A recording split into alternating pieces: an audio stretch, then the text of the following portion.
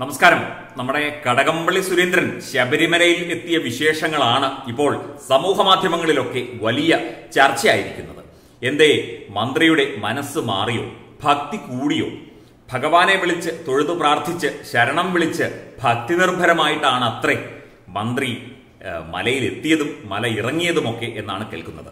ദേവസ്വം മന്ത്രി എന്നുള്ള നിലയ്ക്ക് ശബരിമലയിൽ എത്താനും ഏത് ദേവസ്വം ബോർഡ് അമ്പലത്തിൽ എത്താനും കാര്യങ്ങൾ അന്വേഷിക്കാനുമുള്ള ഉത്തരവാദിത്വമൊക്കെ അദ്ദേഹത്തിനുണ്ട്. പക്ഷേ സാധാരണ എത്തുന്നത് പോലെ അല്ല ഇക്കുറി എത്തിയത് എന്ന് ഭക്തർ തന്നെ പറയുന്നു. മാത്രമല്ല ഭക്തരോട് അപേക്ഷിച്ചിട്ട് ഉണ്ടത്രേ. അതായത് ശബരിമലയിലൊക്കെ വരുമാനം വളരെ കുറവായിരുന്നു.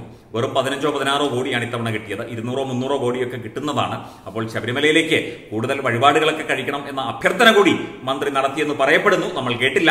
എന്തൊക്കെയായാലും നമ്മുടെ തത്വമൈ സംഘം കഴിഞ്ഞ ദിവസം ശബരിമലയിൽ ഉണ്ടായിരുന്നു. എന്നാലും അദ്ദേഹത്തെ കാണാൻ സാധിച്ചില്ല. അവിടുന്ന് കേട്ട അറിവ് വെച്ചാണ് ഈ കഥകളൊക്കെ പറയുന്നത്. എന്തൊക്കെയായാലും മാധ്യമങ്ങളിലൊക്കെ ചില മാധ്യമങ്ങളിലും ഈ വാർത്ത വന്നിട്ടുണ്ട്. ഭക്തിനിർഭരമായ ഭക്തി നിർഭരമായ അന്തരീക്ഷത്തിൽ മന്ത്രി ഭക്തിയോടുകൂടി തന്നെ പ്രാർത്ഥിക്കുന്നു. ഇനി വേറൊരു കാര്യം കൂടി ഉണ്ട് കേട്ടോ. തെരഞ്ഞെടുപ്പ് അടുത്തപ്പോൾ ഇനിയിപ്പോൾ ഭഗവാന്റെ അനുഗ്രഹം കൊണ്ട് തെരഞ്ഞെടുപ്പ് ജയിക്കാൻ വേണ്ടിയുള്ള എന്തെങ്കിലും വഴിപാട് നടന്നിട്ടാണോ വന്നത് എന്ന സംശയം കൂടി ഈ ഒരു അവസരത്തിൽ ഉണ്ടാകുന്നുണ്ട്. എന്തായാലും അതിന്റെ വിശദാംശങ്ങൾ ഒന്ന് നോക്കാം. മന്ത്രിയുടെ പുതിയ മുഖം കടകംപള്ളി സുരേന്ദ്രന്റെ പുതിയ മുഖം പുതിയ ഭാവം.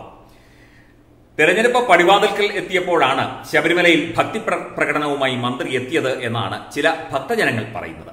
മകരവിളക്കിനോടനുബന്ധിച്ച് സന്നിധാനത്ത് ഇന്നലെ എത്തിയ ദേവസ്വം മന്ത്രി കടകംപള്ളി സുരേന്ദ്രന്റെ ഭക്തിപൂർവമുള്ള ക്ഷേത്ര ദർശനം അയ്യപ്പ ഭക്തരിൽ ആഹ്ലാദവും അമ്പരപ്പുമാണ് ഉളവാക്കിയത് എന്ന് പറയപ്പെടുന്നു.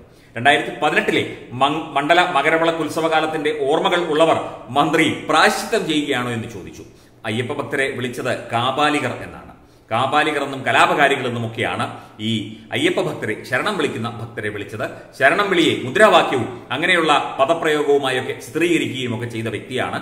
അതുപോലെ തന്നെ നമ്മുടെ ജി സുധാകരനും മോശക്കാരനല്ല കഴിഞ്ഞ ദിവസം കൊഞ്ചുമായി ബന്ധപ്പെട്ടൊരു കവിതയൊക്കെ എഴുതി. നന്നായി. ശബരിമല ആചാര സംരക്ഷണത്തിനായി മുന്നിൽ നിന്നവർ പന്തളത്ത് അയ്യപ്പന്റെ മണ്ണിൽ കഴിഞ്ഞ തദ്ദേശ തെരഞ്ഞെടുപ്പിൽ നേടിയ വിജയം മന്ത്രിയുടെ കണ്ണു തുറപ്പിച്ചോ എന്ന് ചില പന്തളം നിവാസികളായ ആളുകൾ ചോദിക്കുന്നുണ്ട്. പന്തളത്ത് നഗരസഭയിൽ സമ്പൂർണ വിജയം നേടിയാണ് ബി ജെ പി അവിടെ ഭരണത്തിലെത്തിയത്.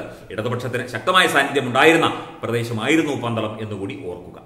ഗുരുവായൂരിൽ ദർശനം നടത്തിയതിന് പാർട്ടിയോട് സമാധാനം ബോധിപ്പിക്കേണ്ടി വന്നയാൾ ശബരീശ സന്നിധിയിൽ കാണിക്കേട്ട് തൊഴുന്നതും തന്ത്രിയും മേൽശാന്തിയും നൽകിയ പ്രസാദം ഭക്തിപൂർവം സ്വീകരിക്കുന്നതും കൗതുകത്തോടെ മാത്രമാണ് ഭക്തർ നോക്കി നിന്നത് ദേവസ്വം മന്ത്രിയായി പലവട്ടം സന്നിധാനത്ത് എത്തിയിട്ടുണ്ടെങ്കിലും ഇത്രത്തോളം ഭക്തി പ്രകടനങ്ങളോ ശരണം വിളിയോ പ്രസാദ സ്വീകരണമോ ഒന്നും മന്ത്രിയുടെ ഭാഗത്ത് നിന്ന് ഉണ്ടായിട്ടില്ല എന്നുള്ള കാര്യം കൂടി ഈ ഒരു അവസരത്തിൽ ഒന്ന് ഓർക്കുകയാണ്. അതുപോലെ മകരവിളക്കിനോടനുബന്ധിച്ച് സന്നിധാനത്തെത്തിയ മന്ത്രി ഏഴേ മുക്കാലോടെയാണ് ഇന്നലെ ദർശനം നടത്തിയത്. രാവിലെ തുടർന്ന് ദേവസ്വം ഓഫീസിലെത്തി മകരവിളക്കിനോടനുബന്ധിച്ച് നടത്തിയ ഒരുക്കങ്ങളെക്കുറിച്ചൊക്കെ തന്നെ മേൽശാന്തിയോടും ദേവസ്വം അധികൃതരോടുമൊക്കെ തന്ത്രിയോടുമൊക്കെ കാര്യങ്ങൾ ചോദിച്ചറിഞ്ഞു. മന്ത്രിയോടൊപ്പം Raju Abraham M L A ഉണ്ടായിരുന്നു. അതുപോലെ Devaswom board president N Vasu ഉണ്ടായിരുന്നു. ദേവസ്വം ബോർഡ് അംഗങ്ങൾ രവി അതുപോലെ പി എം തങ്കപ്പൻ തുടങ്ങിയ ഉദ്യോഗസ്ഥരൊക്കെ ഉണ്ടായിരുന്നു. അതുപോലെ തന്ത്രി അഭിഷേകം നടത്തിയ നെയ്യും അതുപോലെ തന്നെ പ്രസാദവും ഭസ്മവും ഒക്കെ മേൽശാന്തി തന്ത്രിക്ക് ക്ഷമിക്കണം മന്ത്രിക്ക് നൽകുകയും ഈ തന്ത്രി മന്ത്രി എന്ന് പറയുന്നത് മാറിപ്പോകും പണ്ട് എങ്ങോ വായിച്ചത് ഓർമ്മയുണ്ട്. തന്ത്രമറിയാവുന്നവൻ മന്ത്രിയും മന്ത്രമറിയാവുന്നവൻ തന്ത്രിയും. അതുകൊണ്ടാണ് അത് മാറിപ്പോയത് കേട്ടോ. അപ്പോൾ വാവരനടയിൽ ദർശനം നടത്തി അതുപോലെ തന്നെ അവിടെയും കാണിക്കേർപ്പിച്ച പ്രസാദവും സ്വീകരിച്ചാണ് മടങ്ങിയത്. അപ്പോൾ എല്ലാ നടകളിലും എത്തി ഭക്തിപൂർവം ദർശനം നടത്തിയാണ് ബഹുമാനപ്പെട്ട ദേവസ്വം മന്ത്രി ശ്രീ കടകംപള്ളി സുരേന്ദ്രൻ മടങ്ങിയത്. അയ്യപ്പന്റെ എല്ലാ അനുഗ്രഹവും ഭഗവാന്റെ എല്ലാ അനുഗ്രഹവും അദ്ദേഹത്തിന് തീർച്ചയായും ഉണ്ടാകട്ടെ.